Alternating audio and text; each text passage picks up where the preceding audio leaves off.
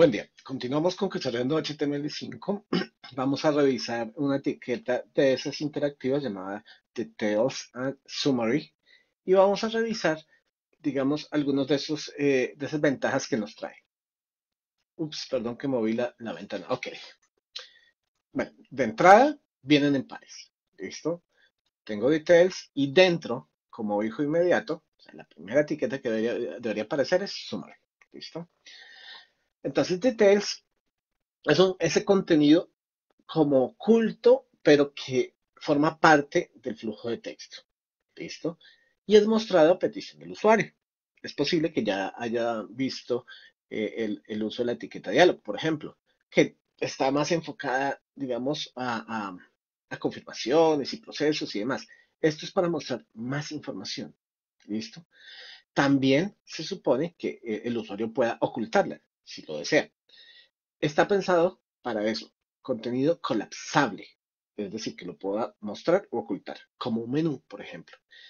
Y comúnmente, pues posee el título, que es nuestro famoso summary, resumen. Entonces, es posible también anidarlos y dejarlos no ocultos por defecto. O sea, yo podría entrar directamente a la página web y que salga de una vez la información y que si el usuario quiere, la oculte. Eso también lo podemos hacer. ¿Listo? ¿Qué debemos tener en cuenta? Nuevamente es una etiqueta en proceso, o sea, está en implementación.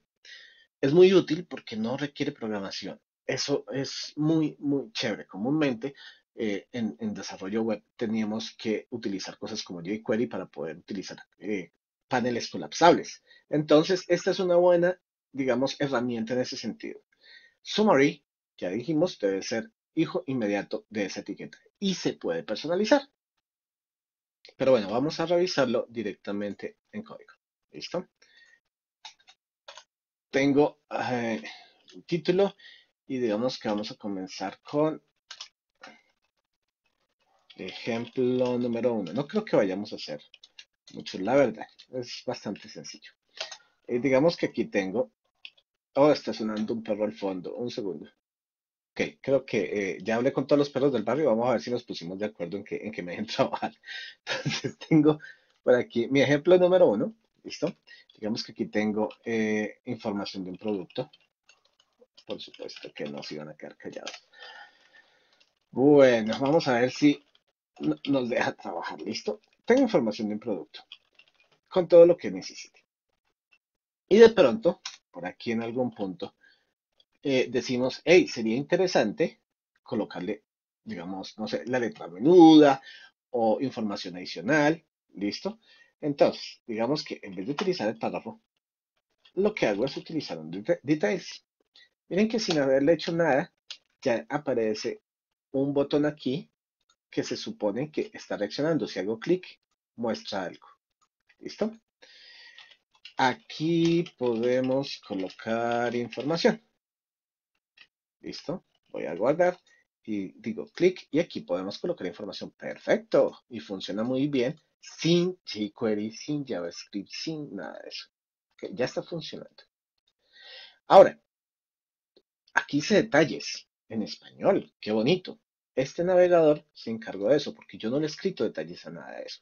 Pero, digamos, ¿qué pasa si yo aquí creo un summary y digo ver información importante. Perfecto.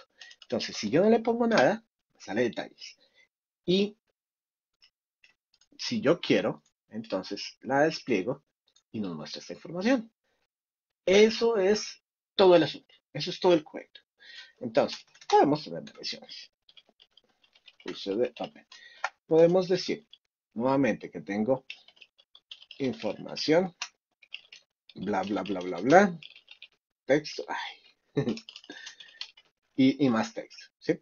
Y de pronto, yo quiero que siempre, absolutamente siempre, aparezca esto.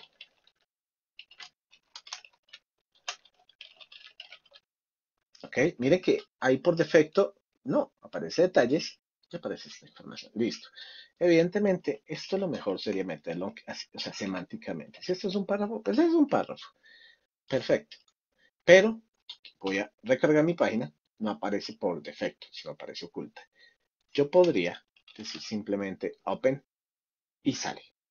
Ahora, si queremos ser bien estándares, al igual que con la etiqueta dialog, eh, dialog deberíamos decir open igual open para que sea estándar, cumpla con todas las normas y demás. Pero con open funciona. Así que esa es la idea. Mm, también sería interesante, por ejemplo, ver más información sobre un producto, una imagen y todo eso, pero recuerden que si es una imagen y está dentro de un figure, deberíamos utilizar Fit Caption y así. Eh, por ejemplo, cuando queremos ver información adicional eh, como formularios y todo eso. Debo tener algo por aquí que tiene que ver con un formulario. Deme un momento. Listo, digamos que vamos a hacer algo con un formulario. Esto es una práctica que no aconsejo, listo, eh, pero mm, también suele, suele verse bastante. Entonces, por ejemplo, digamos que aquí tengo eh, una información importante y justo debajo de esto viene un formulario. ¿Ok? Ahorita no eh, es el, el, tiempo para explicar formularios, sino que vamos a ver algo sencillo. Esto, digamos que aquí tengo un label que diga, eh, no sé, email, ¿listo? Y un input, es decir, un campo de tipo email, en donde el, usuario escriba cosas. ¿Listo? Hasta ahí, bien. Pero, digamos que yo tengo una sección adicional donde deseo eh, que la gente pueda suscribirse a, a, mi gestor de correos, a mi, a, mi, a mi lista de correos.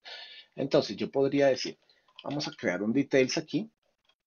Listo. Y dentro de los details vamos a crear un summary, obviamente, para decirle de qué se trata a, la persona.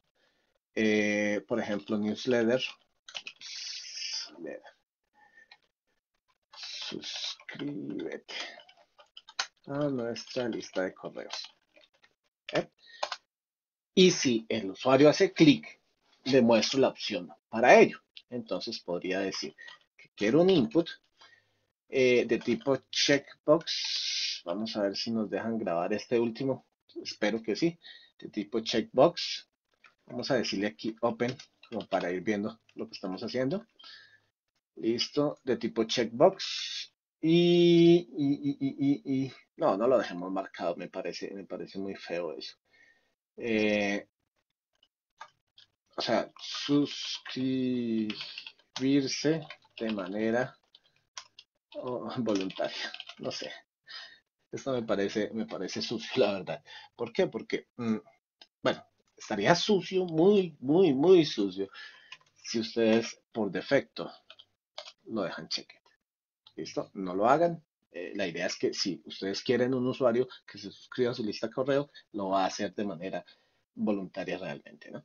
Y bueno, y después que mande los, los datos, ¿no? O sea, después de este details, digamos que tengo un input de tipo submit. ¿Listo? Ahí está. Entonces, en este caso, vamos a dejarlo aquí, así por defecto. En este caso, está la información, pero si, si el usuario hace clic, puede suscribirse o no. Como les digo, no hagan esto, esto es más bien deshonesto a menos de que de verdad, no sé. En fin, hay casos. Yo hago clic y de pronto me suscribo o no y continúo con el resto del formulario. ¿Listo? Eso es otra opción.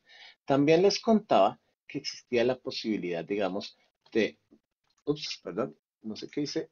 Ah, cargué otro, otro que no era. Ah, a ver, ya, creo que ya. Es que precisamente me tiene fastidiado el, ruido de fondo, discúlpenme.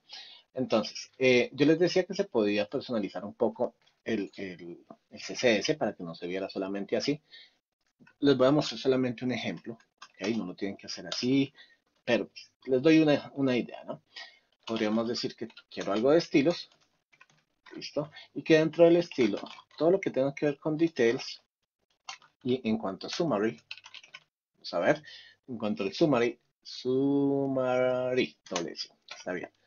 Vamos a hacer, digamos, una transición de tipo color de dos segundos, aunque es muy, muy largo, pero bueno. Y vamos a colocar negro. Ah, era blanco, pero bueno. Hoy, hoy, hoy, hoy es un día. Listo. y que respecto a details, details, ¿cómo se nota que estoy fastidiado? Listo, en cuanto se abra eh, la parte de summary, quiero un color, digamos, blue.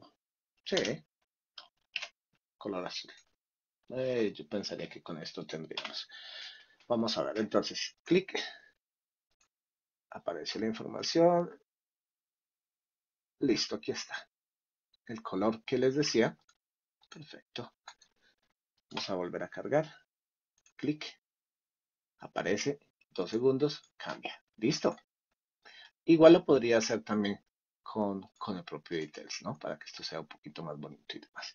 Pero pues, eh, digamos, esto era solamente un, un ejemplo.